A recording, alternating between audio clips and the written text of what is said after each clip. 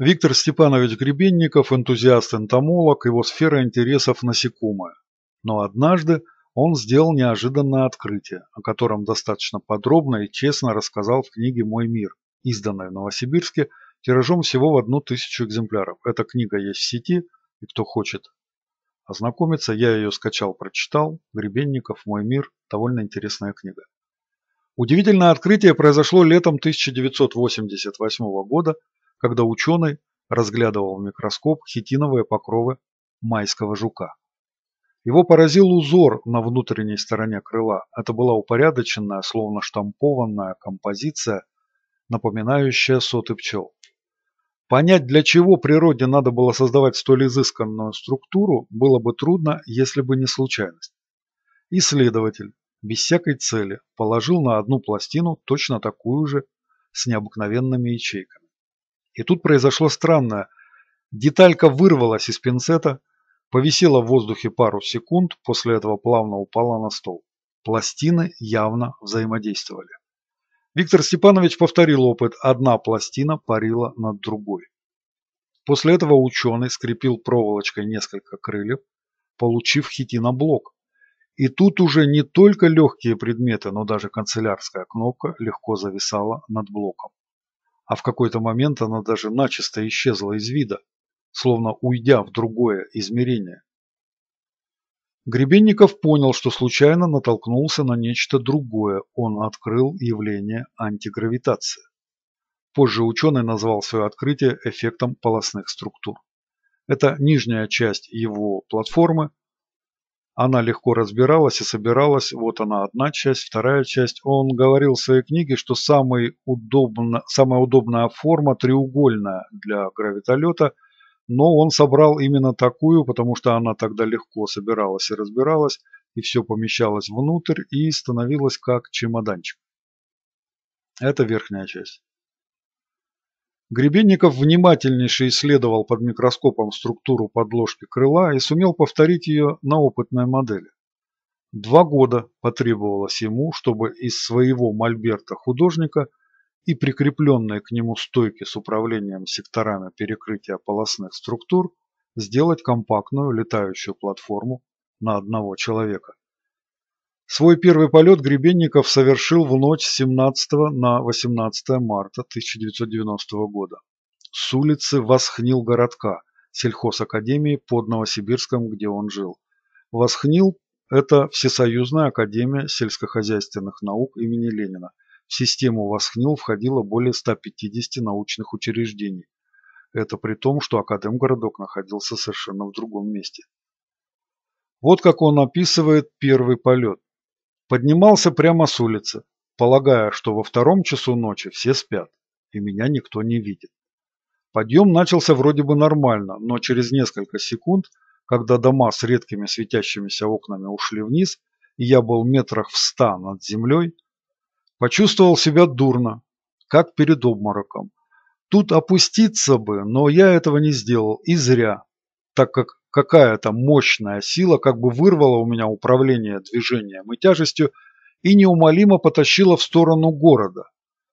Он пересек зону девятиэтажек, пролетел заснеженное поле, шоссе Новосибирск-Академгородок, оно называется Советское шоссе, и устремился к громаде спящего города. Его несло к заводским трубам, густо дымившим в ночи. И вот здесь вот фотография наиболее распространенная в сети. И здесь показано, как он отрывается от земли. С величайшим трудом я сумел с грехом пополам сделать аварийную перенастройку блок-панели, пишет Виктор Степанович. Горизонтальное движение стало замедляться. Лишь с четвертого раза его удалось погасить и зависнуть над Затулинкой, Кировским районом города. С облегчением убедившись, что «злая сила» в кавычках исчезла, я заскользил обратно, но не в сторону Воснил городка, а правее, к Толмачеву, запутать след на тот случай, если кто-то меня заметил. Вот в собранном виде. На следующий день новости, сообщения по телевидению и в газетах были для испытателя более чем тревожными. Заголовки «НЛО над Затулинкой», «Снова пришельцы» явно говорили о том, что его полет засекли. Одни воспринимали феномен как светящиеся шары или диски, другие утверждали, что летела настоящая тарелка с иллюминаторами и лучами. С тех пор изобретатель стал совершенствовать свой аппарат, предпринимая подчас весьма далекие до 400 километров путешествия в места природных заказников, где он продолжал исследовать насекомых. Как правило, полеты происходили в летнее время. И вот довольно редкая фотография его платформа в сборе. Геннадий Моисеевич Заднепровский рассказывал об этом, демонстрируя на экране снимки и самого Гребенникова, и его странного аппарата, и фото со взлетом платформы. Признаться, даже нам, уфологам, привыкшим к самым разным ситуациям и неожиданностям, трудно было осознать реальность такого открытия. Полеты Гребенникова. Вот как описывает свои полеты сам Гребенников. Знойный летний день.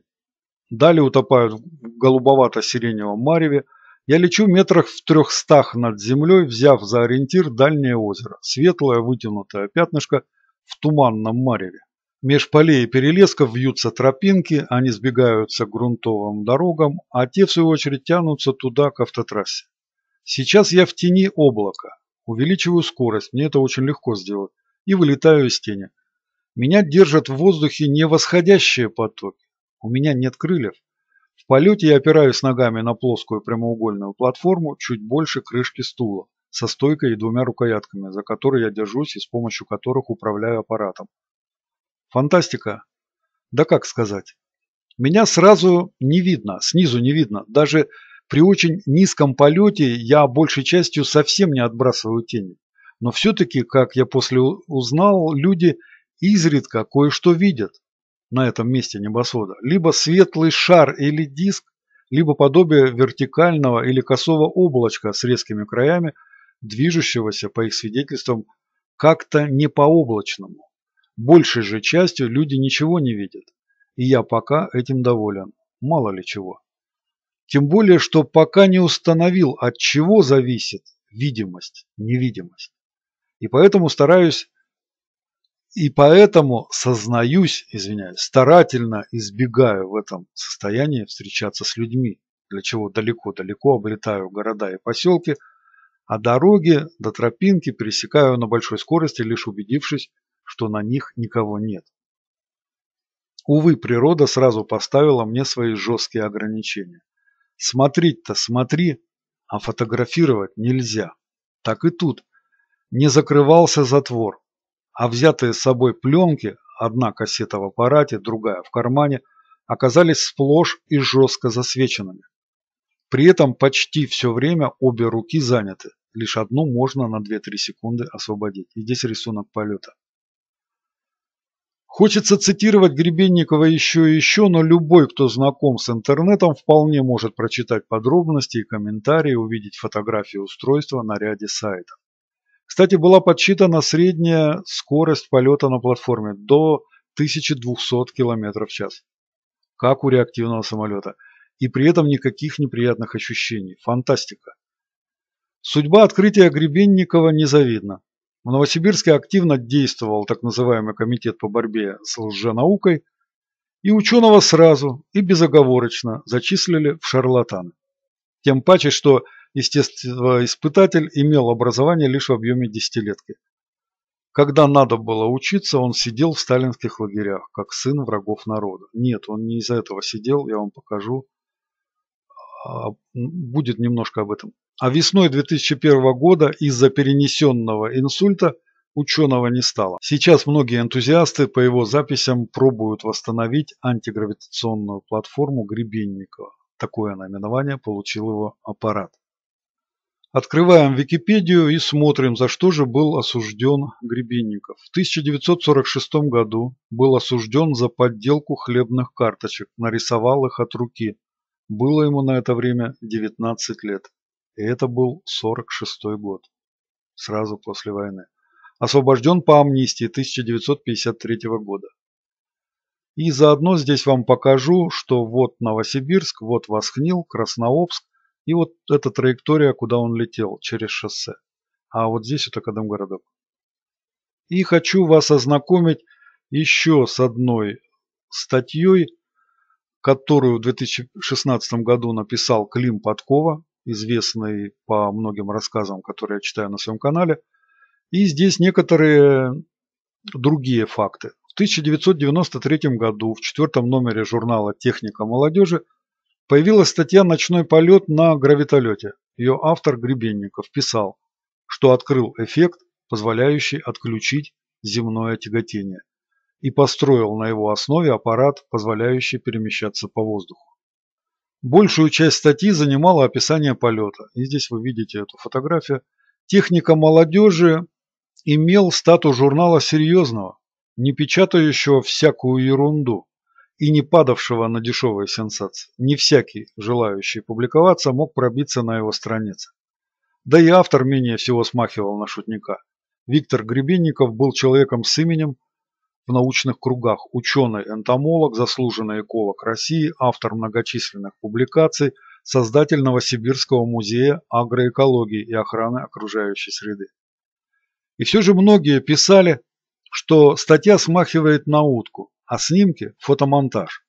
Развеять сомнения могли бы разъяснения самого автора, но принципа работы своего гравитоплана Гребенников в статье не излагал.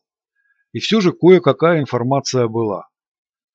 Эффект полостных структур. Вы удивитесь, но ученые не могут объяснить, как летают некоторые виды насекомых. Площади крыльев явно недостаточно, чтобы подняться в воздух. И все же они летают. Гребенников был энтомологом, изучал насекомых и долгое время пытался разгадать этот парадокс. В 1988 году он открыл эффект полостных структур ЭПС.